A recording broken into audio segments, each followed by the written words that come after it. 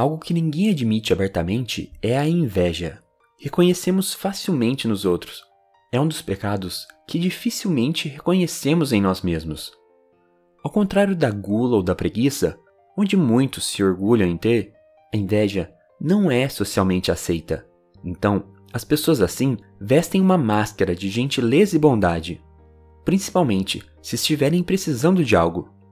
Junto disso, nunca reconhecem o sentimento de inferioridade delas, com uma ânsia por ter a vida que você tem. Mas, ao invés de correr atrás dos sonhos delas, essas pessoas dirão que não gostam de você, que você não é capaz ou não é merecedor.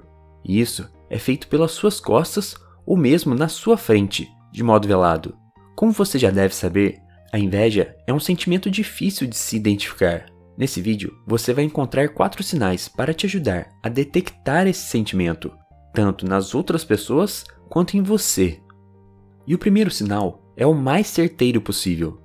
Para verificar se alguém tem inveja de você, faça o seguinte: diga à pessoa uma ótima notícia que aconteceu com você.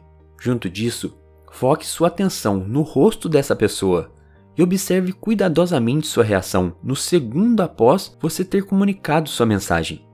O que acontece aqui é que normalmente podemos esconder nossos sentimentos das outras pessoas, mas somos incapazes de as esconder no momento que elas ocorrem, e nossos olhos ou lábios mostrarão algum sinal de hostilidade se o sentimento de inveja estiver acontecendo.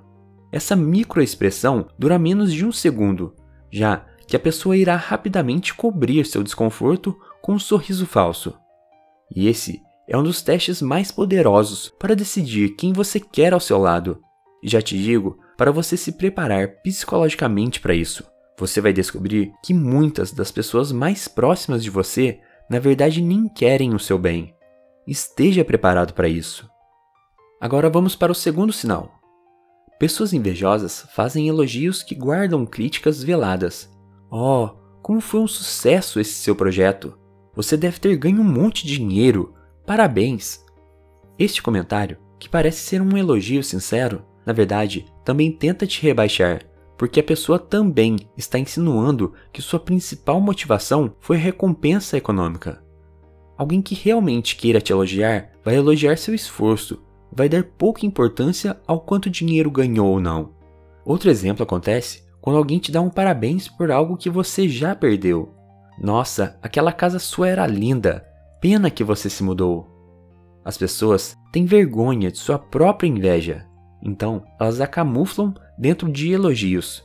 Elas te criticam enquanto te parabenizam. Então, se você se sentir desconfortável quando alguém te elogia, muito provavelmente você está na frente de uma pessoa invejosa. Um terceiro sinal acontece quando alguém vem falar com você sobre alguém que está prosperando na vida. O que essa pessoa faz é espalhar rumores e histórias do passado, tentando desmerecer de alguma forma a outra pessoa.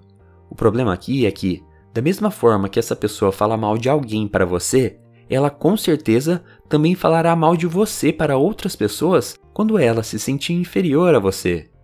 Por isso, sempre que alguém vier comentar sobre a vida de outra pessoa, lembre-se dessa frase: Quando Pedro me fala sobre Paulo, sei mais de Pedro do que de Paulo.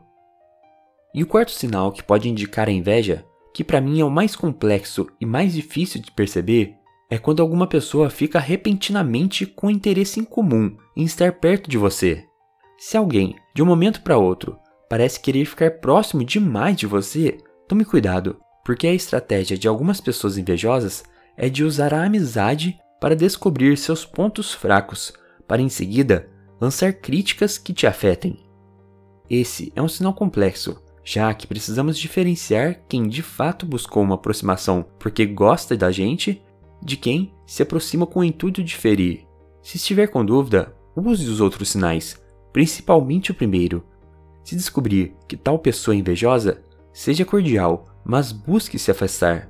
Um belo jardim rodeado de cobras não é um bom lugar para se estar.